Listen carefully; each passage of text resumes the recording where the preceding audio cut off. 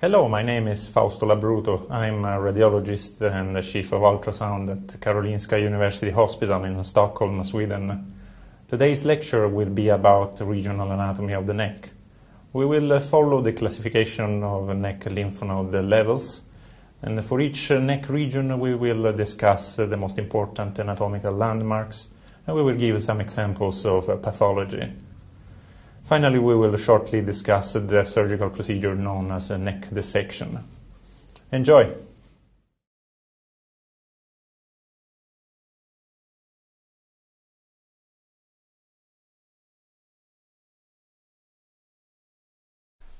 This is a lecture about the regional anatomy of the neck. I think uh, ultrasound specialists must be familiar with uh, the anatomy of the neck for a better identification and a description of pathology. This is especially true when it comes to staging head and neck malignancies, because the exact position of metastatic lymph nodes has an enormous prognostic value and is of great importance for planning of treatment, surgical treatment or radiotherapy. In the, settings of lymph node pathology of the neck, the most uh, popular regional classification is the one introduced by Memorial Sloan Kettering Cancer Center, which divides the neck into six regions and uh, subregions. This uh, classification originally featured seven regions. However, the seventh region is in the upper mediastinum and it doesn't belong to the neck and will not be further discussed today. During the course of this lecture, we will follow this regional classification as a road map and for each region we will define uh, the most important anatomical landmarks and we will give uh, examples of pathology. We start with uh, region 1, which is actually divided into two subregions, 1A and 1B. In order to fully grasp the anatomy of this part of the neck, it is important to be familiar with the anatomy of the digastric muscle. This muscle consists of two bellies, the posterior and the anterior, which are connected by an intermediate tendon. The posterior belly originates from the mastoid process of the temporal bone, while the anterior belly attaches to the body of the mandible. The intermediate tendon, which is located immediately superior to the hyoid bone, may pass anteriorly, posteriorly, or in a minority of cases through the distal part of the stylohyoidal muscle, which is a muscle that extends from the styloid process of the temporal bone to the hyoid bone. Region 1b, which is also known as the submandibular region, is limited laterally and posteriorly by the posterior belly of the digastric, anteriorly and medially by the anterior belly of the digastric, while superiorly by the body of the mandible. Region 1a, which is also known as the submental region, is on the other hand a medial region, limited laterally by the anterior belly of the digastric, inferiorly by the hyoid bone, and superiorly by the mandible. Region 1 is the drainage region for the lymphatics of the lower lip, the anterior chin, the gum, the anterior portion of the floor of the mouth, the tip of the tongue, and the internal facial structures. Because of the position of the mandible, which will cause acoustic shadows, imaging of this part of the neck by ultrasound is mainly obtained by oblique axial and oblique coronal projections. If we place our ultrasound probe as shown in uh, this picture, we will be able to identify laterally an axial section of the belly of the sternocleidomastoid muscle. This is the muscle that extends from the mastoid process of the temporal bone to the clavicle and uh, to the manubrium sterni. More immediately, we will see an axial section of the posterior belly of the digastric muscle. Even more medially, we will distinguish the parenchymatous structure of the submandibular salivary gland. The vessels seen between the belly of the digastric and the submandibular salivary gland is the anterior branch of the retromandibular vein. If uh, we rotate the ultrasound probe and place it more medially, as shown in this picture, we will obtain an oblique projection of the belly of the stylohyoid muscle and an almost cross-sectional projection of the intermediate tendon, which connect the um, posterior and anterior bellies of the digastric. Those are adjacent to the submandibular salivary gland. If we, on the other hand, uh, turn the ultrasound probe to an almost axial position, we may obtain a long image on the intermediate tendon, just caudal to the submandibular salivary gland. This is the intermediate tendon. And uh, if we turn the ultrasound probe exactly 90 degrees from the former position on an oblique sagittal projection, we will obtain a perfect cross-sectional view of the intermediate tendon. Deep to the intermediate tendon, we will see the thin mylohyoid muscle. This is the muscle which extends from the body of the mandible to the superior aspect of the hyoid bone. And together with the thicker geniohyoid, this muscle forms the muscular floor of the mouth. This shadow forming structure here is the hyoid bone seen on a sagittal projection. In this image, which is obtained just slightly more medially to the former, beside the submandibular salivary gland, we observe the intermediate tendon of the digastric, the mylohyoid and the geniohyoid, which are just cranial to their attachments to the hyoid bone. We can also see the acoustic shadow formed by the body of the mandible. An important thing to remember when insonating this part of the neck is that besides visualizing the neck itself, we enjoy a unique view of parts of the oral cavity and even of the pharynx. This is, for example, a view of the posterior part of region 1b, where we recognize the posterior belly of the digastric, the submandibular salivary gland, and the geniohyoid and the lateral part of the tongue, together with the soft tissues of the lateral pharynx. On the other side, we see an hypoechoic, ill-defined mass that abuts the lateral part of the tongue. This was later shown to be a tonsillar cancer. As we mentioned before, region 1A, which is also known as submental region, is a median region. Region 1A is divided into right and left by the middle line. The difference between right and left region 1 is not just an academic one, if we think, for instance, that localization of a metastatic lymph node to the right or to the left of the midline will modify the staging of the disease and its prognosis with uh, ramifications on the surgical treatment or on uh, radiotherapy. Probably the best way to image region 1A by ultrasound is to position the probe just below the chin to obtain an exact coronal projection and move the probe dorsally and caudally down to the hyoid bone. This way we will be able to identify the following pairs of muscles, the anterior belly of the digastric, the thin mylohyoid and the thick geniohyoid, and above them the centrally located hyogloss, which extends from the hyoid bone to the root of the tongue. Above these pairs of muscles we observe the tongue, and beneath it, on both sides, the parenchymatous structure of the sublingual salivary glands.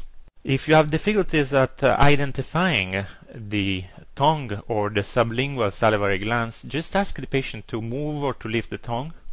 In the image on the right hand side here, the patient is holding a mint uh, under the tongue on his left side, which makes the boundary between the tongue and the sublingual salivary gland uh, very distinct.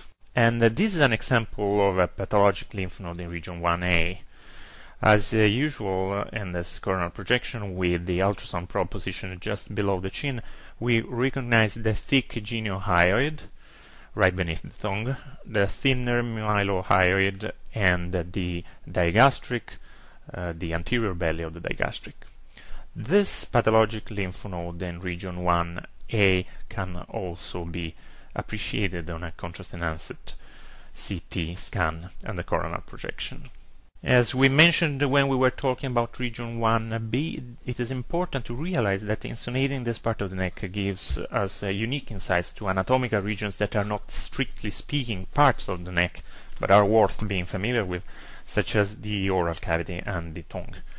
On this coronal projection of region 1A, we recognize two pair of muscles, the thin mylohyoid and the thicker geniohyoid, together forming the floor of mouth. And we recognize the acoustic shadows uh, given by the mandible on both sides. Immediately deep to the muscular floor of the mouth, we observe the sublingual salivary glands, and centrally the rather hypoechoic hyogloss, which is covered by the more echogenic mobile tongue. And on the patient's right side, you may notice an ill-defined mass which abuts the mobile tongue and the right sublingual salivary gland. This was later shown to be a lingual cancer. This finding would have been very difficult to visualize on contrast-enhanced CT scan, as we see on uh, this image and which is just taken uh, just one day later and uh, will be very subtle on this magnetic resonance image of the same patient obtained uh, some days later. However, it is rather obvious on ultrasound, and this just confirms us how ultrasound permits exquisite soft tissue differentiation and resolution. This is yet another example of pathology of the oral cavity seen at ultrasound of the neck. We are in region 1A. As usually it is easy to recognize the symmetrical pairs of muscle, the digastric, the mylohyoid, and the geniohyoid, and the hyogloss, as well as the mobile tongue. And in the area corresponding to the sublingual salivary gland on the patient's right side, we observe an anechoic rounded mass, which was later shown to be a hemangioma of the salivary gland compared to contrast-enhanced CT image of the same patient. Other reasons for asymmetry in the floor of the mouth include iatrogenic causes. In this particular patient, the difference in uh, echogenicity between the left and uh, the right side, just deep to the mylohyoid muscle, is due to the fact that this patient has undergone hemiglossectomy, which is the surgical removal of half of the tongue, in this case the right half, and the removed muscle is replaced by fatty tissue. The hyogloss can only be identified on the left side, and these changes can be appreciated on the accompanying contrast-enhanced CT image. We go on to region 2. Lymph nodes in this region are known as upper jugular lymph nodes or level 2 lymph nodes. This is the region most frequently involved by cervical lymph node metastasis. Tumors of the oropharynx, posterior oral cavity, supraglottic larynx, or a parotid gland can metastasize initially to this region. Carcinomas of the hypopharynx, glottis, and anterior oral cavity are also frequently metastasizing to level 2 lymph nodes. This region of the neck is limited superiorly by the skull base, and inferiorly by a transverse line passing through the hyoid bone, and medially by the medial border of the internal carotid artery, and laterally by the mar lateral margin of the belly of the sternocleidomastoid muscle. In the uppermost two centimeters of this region, lymph nodes may be located anteriorly, uh, posteriorly, or uh, laterally to the internal jugular vein, but not medially because if they are uh, located medially, they actually are located in the parapharyngeal space, which is a space of the suprahyoid neck and falls outside of this classification. From uh, 2 centimeters below the skull base down to the level of the hyoid bone, however, lymph nodes can indifferently be located anteriorly, laterally, posteriorly, or medially to internal jugular vein. Here is an image of region 2 on the axial projection. The flat band-like muscular structure located superficially is the belly of the sternocleidomastoid. The vascular structures uh, located beneath are readily recognizable as the round, pulsating, and non-compressible internal carotid artery and the larger, more flat, and more compressible internal jugular vein. In this image, you may recognize two normal lymph nodes located medially and laterally to the internal jugular vein. Level 2 lymph nodes that are located posteriorly to the internal jugular vein may be adjacent to it or separated from it by a thin layer of fat. In the latter case, the lymph nodes are described as level 2B lymph nodes. We move on to region 3. Lymph nodes in this region are known as the mid-jugular lymph nodes or level 3 lymph nodes. This region is the first relay for hypopharyngeal, glottic and subglottic carcinomas. Region 3 is limited superiorly by a transverse line passing through the hyoid bone and inferiorly by a transverse line passing through the cricoid cartilage medially by the medial margin of either the internal or the common carotid artery, and laterally by the lateral margin of the sternocleidomastoid, as you can see uh, on this axial CT scan. This is what an axial ultrasound scan through region 3 will uh, look like. On the bottom of the image you will recognize the vertebral body of the cervical spine with the corresponding vertebral artery. The largest neck vessels are, as well as the sternocleidomastoid are usually readily recognizable. And then medially, at this level, you will be able to identify the parenchymatous structure of the thyroid. Other important muscles in this region are the scalenus anterior, which extends from the cervical spine to the first rib, and the longus colli, which is uh, situated uh, deep in the neck, just anterior to the cervical spine, from which it uh, originates and to which it attaches. This is an example of a pathologic lymph node in region 3. As shown before, the most important landmarks such as the large vessels and the sternocleidomastoid are readily recognizable. Laterally, we can still see scalenus anterior but also more laterally to it the scalenus medius, which too extends from the cervical spine to the first rib. And in the middle of the figure, an enlarged centrally necrotic lymph node, which was later shown to be metastasis of squamous cell cancer of the hypopharynx, compared to the axial CT image on the same area in this particular patient. Further down in same region, almost at the border with the more caudal region 4, and always keeping yourselves on an axial projection, you may observe a very thin muscle which runs from the middle line to the side, and um, as opposed to all the other muscles which are rather more vertical in their orientation. This muscle is the omohyoid which is circled in green here. And is a, it is an interesting muscle which we will also encounter when we will discuss region 5. Similarly to the digastric, this muscle consists of uh, two bellies, the superior and the inferior, which are connected by an intermediate tendon. The omohyoid extends from the hyoid bone to the scapula. You can see it in this axial CT scan as well. By turning the ultrasound probe 90 degrees, we will obtain an oblique sagittal view of the omohyoid as it passes transversally between the internal jugular vein and the sternocleidomastoid. We carry on to region 4. Lymph nodes in this region are known as uh, lower jugular lymph nodes or level 4, level 4 lymph nodes. They drain the infraglottic region, the thyroid gland, and the cervical esophagus. Carcinomas of the anterior tongue and uh, non-cervical tumors such as uh, non-cervical esophagus, lung or breast and stomach may also occasionally metastasize to region uh, 4.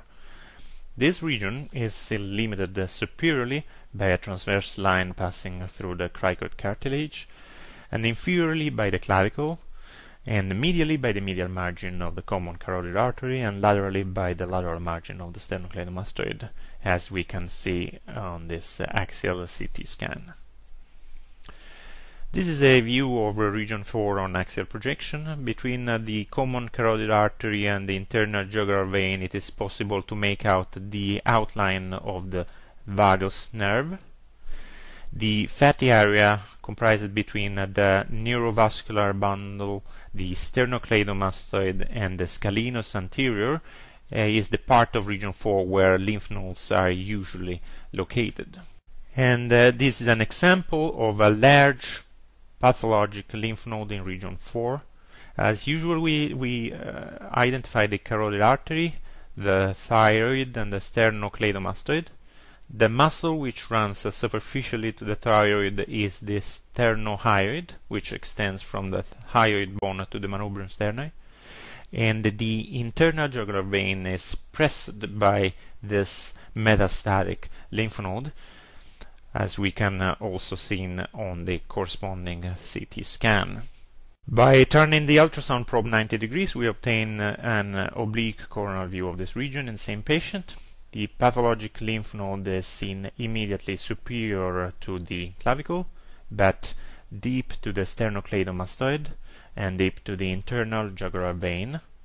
The shadows on the lower part of this image are caused by the transverse processes of the vertebrae of the cervical spine, and uh, we can also observe uh, the scalenus uh, anterior muscle. This is another typical feature of region 4.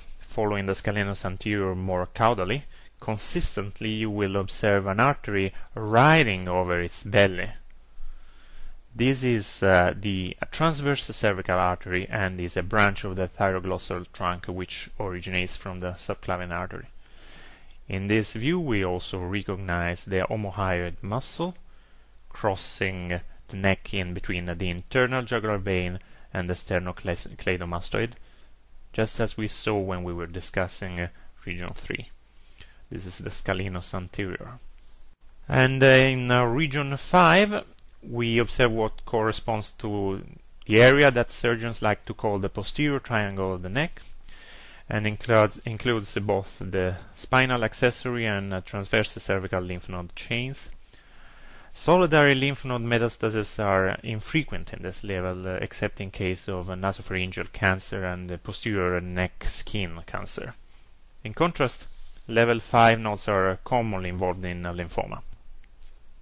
Region 5 has a triangular shape and is limited anteriorly by the lateral margin of the sternocleidomastoid and posteriorly by the anterior margin of the trapezius muscle, which is the muscle that extends from the occipital bone and the cervical and thoracic spine down to the scapula, as you can see from this uh, axial MR image. And region 5 is actually uh, subdivided in two subregions, uh, 5a superior to a transverse line passing uh, through the cricoid cartilage, and region 5b which is inferior to the same line. This is a transverse uh, section of region 5b. We recognize the thyroid, the vascular bundle, the sternocleidomastoid, the scalenus anterior, the omohyoid, and the sternohyoid muscles, and uh, laterally the trapezium. The anterior limit of this region is represented by an oblique line touching the lateral margin of the sternocleidomastoid and uh, the lateral margin of the scalenus anterior. The posterior limit is represented by a transverse line touching the anterior margin of the trapezium. If you have troubles at identifying the trapezium, think, think about it as the most lateral of the muscles of the neck, and remember that it always has a pointy medial margin, which you can also appreciate on this uh, axial MR scan. The muscle that lies medially to it is the levator scapulae, which extends from the cervical spine to the scapula. This muscle is usually easy to recognize thanks to its uh, concave shaped medial margin, where the concavity sort of uh, accommodates the lateral margin of the scalenus medius. You can appreciate uh, this same concavity on this uh, axial MR scan. And the muscle that lies deep to all the mentioned muscles is the splenius colli, which is the muscle which originates in the cervical spine and attaches to the thoracic spine. So, for instance, uh, in this particular patient, we identify a superficial lymph node on the lateral neck we notice it uh, as laying between the lateral margin of the sternocleidomastoid and the medial margin of the trapezius, and this uh, is a level 5 lymph node. Beneath it, we, we will recognize from medial to lateral the scalenus anterior, the scalenus medius, and the levator scapulae, with its uh, peculiar concave medial margin. When uh, scanning region 5 on an axial projection, uh, we will encounter a thin muscle that runs uh, almost uh, transversely as opposed to all other muscles running in a more or less craniocaudal direction. This muscle is the omohyoid, which we have seen crossing region 3, passing below the sternocleidomastoid, and now we see it continuing through region 5 on its way to the scapula. This is the sternocleidomastoid, this is the external jugular vein and internal jugular vein, and this is the transversally oriented omohyoid. The surgeons like to divide the posterior triangle of the neck into a superior and an inferior part, and um, they use the omohyoid muscle uh, as a um, line dividing these two triangles.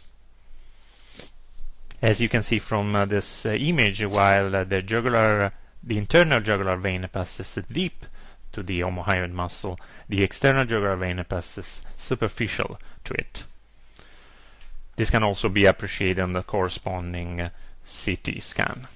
We move on to region 6, which uh, similarly to region 1a is a median region, which is divided into left and right by the middle line. This region is uh, limited uh, superiorly by the hyoid bone and uh, inferiorly by the manubrium sterni and laterally on both sides by the medial margin of the either the common or the internal carotid artery as we can see from this uh, axial CT scan at the level of the larynx. Lymph nodes in this region drain the supra and infraglottic regions, the piriform sinuses, the thyroid gland, and the esophagus. The most conspicuous structures in this part of the neck are the thyroid gland. The thyroid gland uh, and the parathyroid gland have, however, been sufficiently discussed in other lectures, and we will not dwell upon them uh, any longer today. This is a sagittal scan uh, just immediately off the midline we will see two large areas of shadows caused by air in the larynx superiorly and air in the trachea inferiorly. You may recognize the tracheal rings causing shadow artifacts as well. Similarly, because of the shadows that they project, you will be able to identify the hyoid bone superiorly and the thyroid cartilage inferiorly. More superficially, you will notice muscles extending from the hyoid bone to the thyroid cartilage, which is the thyrohyoid muscle, and extending from the thyroid cartilage down to the sternum, the sternothyroid muscle. If we look more on detail, uh, we will obtain a precise view of the muscles attaching to the hyoid bone. Superiorly, the geniohyoid and uh, mylohyoid. And uh, inferiorly, the thyrohyoid and the sternohyoid, which is more superficial. As you can see from the accompanying MR image, the resolution of ultrasound allows for a far more detailed view of the anatomy of this part of the, the body. A typical pathology of this part of the neck is uh, thyroglossal duct cyst, this is an image of a uh, sagittal image of a normal hyoid bone with the uh, muscle attachments. This is the hyoid bone, and the muscle attachments are superiorly the geniohyoid and mylohyoid, and uh, inferiorly the sternohyoid and the thyrohyoid. And uh, this is uh, an uh, accompanying MR image and uh, this is uh, an image of sagittal neck with a thyroglossal duct cyst in the middle.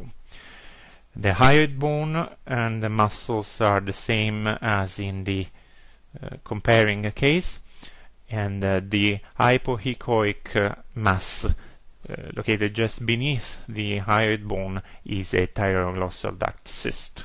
Surgery for removal of this kind of cysts uh, often include the surgical removal of the body of the hyoid bone, and this is an example of an image after the removal of the body of the hyoid bone. The normal shadow given by the body of the hyoid bone is uh, gone. and this area is replaced by a scar tissue. We will now briefly discuss the surgical procedure known as a neck dissection, which is aimed at controlling neck lymph node metastasis. This uh, technique was uh, first described at the beginning of the last century by surgeons of the Cleveland Clinic, and uh, it originally featured the surgical removal of all the lymph nodes on the side of the neck affected by the malignancy, that is uh, all the lymph nodes from level 1 to level 5, together with the spinal accessory nerve, the internal jugular vein, and the sternocleidomastoid muscle. The reason for removing the structures is that uh, these structures are intimately connected to the lymph node chains. And according to the American Academy of Otolaryngology and Head and Neck Surgery, this version of the procedure is defined as a radical neck dissection. However, there exist uh, today less demolitive variants of this procedure. We see them listed here. The modified radical neck dissection is um, a procedure uh, that includes the removal of all ipsilateral lymph nodes in region 1 to 5, but the preservation of one or more non-lymphatic structures. The selective neck dissection, which is a technique of cervical lymphadenectomy with preservation of one or more lymph node groups that are routinely removed in, removed in radical neck dissection. That's for instance for oral cavity cancers, and lymphadenectomy of region 1 to 3, uh, for oropharyngeal, uh, hypopharyngeal and laryngeal cancers, and lymphadenectomy of regions 2 to 4. And um, in some cases, the surgeon will want to extend the area of resection and uh, for example, to lymph node stations uh, of the contralateral side, and this is uh, defined as uh, extended neck dissection. And uh, this is uh, what uh, a axial ultrasound scan looks like on a patient who has undergone radical neck dissection. As you can see, the sternocleidomastoid and the internal jugular vein, uh, which are readily identifiable on uh, the right hand side, uh, cannot be identified on the left side. They are surgically removed. There is also some scar tissue, uh, which is common in patients uh, who have undergone this kind of operations, and this could also be appreciated on the corresponding CT scan. And ultrasound has a major role in the follow-up of patients who have undergone neck dissection uh, with the purpose of uh, ruling out uh, relapsing disease. Any lymph node identified in a region where a lymphadenectomy was performed, regardless of uh, the size of the lymph node, should be suspected of relapsing disease and should be further examined, for example, with biopsy. Well, uh, this concludes our lecture on uh, regional anatomy of the neck. I hope you enjoyed it and I wish you a good day.